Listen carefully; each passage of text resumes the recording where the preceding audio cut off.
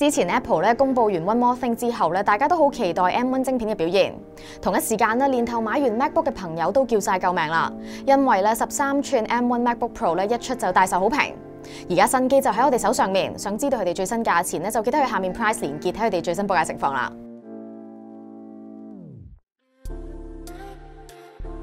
如果你繼續睇緊呢條片，多謝你嘅支持，仲未 subscribe 俾你咧，就快啲訂閱我哋 Price YouTube Channel，再撳埋隔離個鐘啦。今次十三寸 MacBook Pro 咧咁有話題性，除咗係因為咧 M1 晶片所做到嘅旗艦效能表現啦，再加埋一個相對親民嘅價位，就係九千九百九十九蚊，咁相剑合璧咯，令到大家相當之有驚喜。不過咧，我哋買一部電腦嘅時候咧，仲有好多考慮嘅因素，例如程式嘅兼容度、圖像處理器嘅能力，又或者咧 Intel 过渡去 M1 嘅時候，用家需要俾幾多耐性呢？咁我哋同場加映一部私火嘢，就係二零一九年十五點四寸 i7 MacBook Pro，俾大家對比參考一下啦。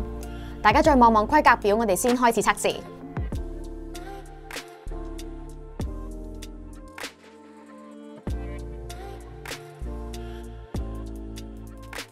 第一個咧，先用 Cinebench R 二十三咧去測試兩部新舊 MacBook Pro，咁結果亦都係全新嘅 MacBook Pro 咧有比較好嘅得分，Single Core 咧有三十五 percent 嘅提升，而 Multi Core 咧就有三十 percent 嘅提升啦。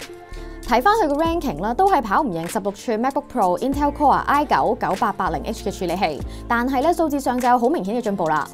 跟住咧試下用 Blackmagic Design 做個 SSD 速度測試，咁結果顯示咧 M1 嘅讀取速度咧就係二千八百零五點六 Mbps per second，提升咗二十一個 percent；寫入速度咧就係二千二百二十六點六嘅 Mbps per second，提升咗七十六個 percent。再同大家跑埋 Gib Bench Five，咁結果發現啦，處理器升高 Core 同 Multi Core 運算方面啦，全新嘅 M1 MacBook Pro 咧分別係獲得一千七百三十二分同埋七千六百七十七分，而二零一九年版本嘅 MacBook Pro 咧就只有一千零四十五同埋五千三百五十五分啊！全新嘅 MacBook Pro 咧喺兩方面嘅得分咧都比二零一九年嘅版本咧高出三十九同埋三十個 percent。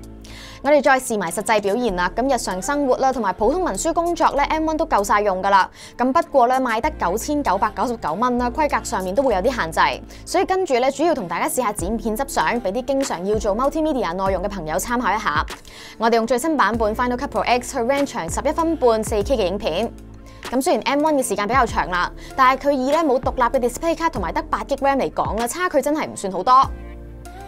咁然後再用 Lightroom export 二十張 RAW 檔，兩者嘅差距更加接近啦。電量表現又點呢？我哋用 WiFi 用 Chrome 開 Netflix 睇逃學威龍，片長咧就一個鐘頭四十分鐘，再上下網咧就用咗一共兩個鐘。兩部機都喺一百 percent 滿電嘅情況之下，熒幕都係校到最光。要留意啦，十五點四寸嘅 MacBook Pro 咧已經用超過一年，咁所以電池點都會有所消耗。咁呢個電池 test 咧只係俾大家做多一個參考。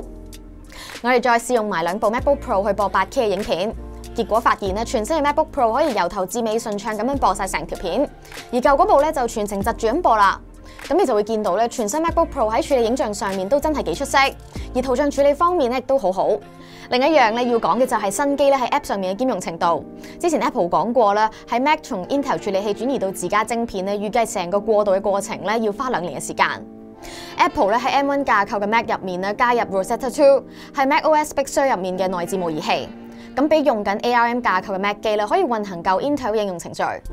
咁而喺 Rosetta 2嘅環境之下咧，頭先都提過嘅跑分同實際表現咧，都令人幾滿意。而喺試嘅過程入面咧，我裝咗 Photoshop、Premiere Pro、Lightroom、Chrome 等等，咁常用嘅 App 咧都裝到噶啦。不過裝嗰時咧就會提翻你呢個係 Intel 嘅版本。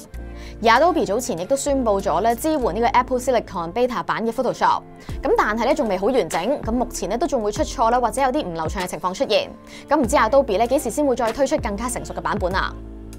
唔少人都認為咧推出 Apple 自家晶片係 Steve Jobs 嘅位置，咁而家都終於實現咗啦。咁 Apple 咧最新嘅 MacBook Pro 咧九千九百九十九呢個價錢咧比之前平咗唔少。咁而且咧，即使喺 Rosetta 2嘅環境底下啦，喺各個測試同表現都令人相當之有驚喜。咁我自己就覺得啦，會令到用家咧更加之有信心去面對，尤其是咧喺 Office 同埋 Adobe 嘅兼容上面咧，Intel 轉去 M1 呢個過渡期。咁只要大家咧俾啲耐性，等多等，咁呢一部第一款嘅 M1 MacBook Pro 咧都非常之適合 Content Creator 去入手。而 ARM base 嘅 Apple Silicon M1 嘅出現啦，相信會令打後嘅 Apple Product 有更加之大嘅靈活度，好似機種嘅研發。咁使用體驗咧，理應都會更加之好。同一時間啦，Apple 立埋晶片自己去做，成本如無意外都可以降低噶啦。相信對消費者嚟講係最好嘅消息。另外咧，值得留意嘅係 Apple 都確認咗 M1 處理器只係其中一款 ARM 架構處理器嘅設計，去應對之後嘅 Mac。咁所以咧，我估計未來咧會有更加多高階 product 咧會配置全新嘅處理器，咁可能係叫 M2、M3 或者 M1、Set、M1X 都唔定啦。仲有咧，消息亦都指出 Apple 有機會會推出 GPU 嘅設計做自家嘅獨立顯示卡。咁如果係真嘅話咧，可能會用喺效能規格更加強勁嘅 MacBook Pro，又或者新款嘅 iMac 或者 Mac Pro 上面啦。最後咧，有一件好重要嘅事情要同大家分享，就係 Price 聖誕狂想曲網購優惠已經開始咗啦。Price 網購響十月十一號朝頭早十點鐘開始，有一個一日限定優惠，買滿七百蚊同埋一千六百蚊以上咧，入呢兩個優惠碼就可以即刻減最多二百蚊。而喺聽日十二點半仲會有呢幾隻產品開賣，記得用埋個曲咧就可以折上折慳更多啦。你仲有咩 Apple Product 想我哋试呢？记得留言讲低啦，我哋会尽力复翻你。我哋好快就会有新片同大家见面，所以记得订阅我哋 Price Channel，再揿埋隔籬個鐘啦。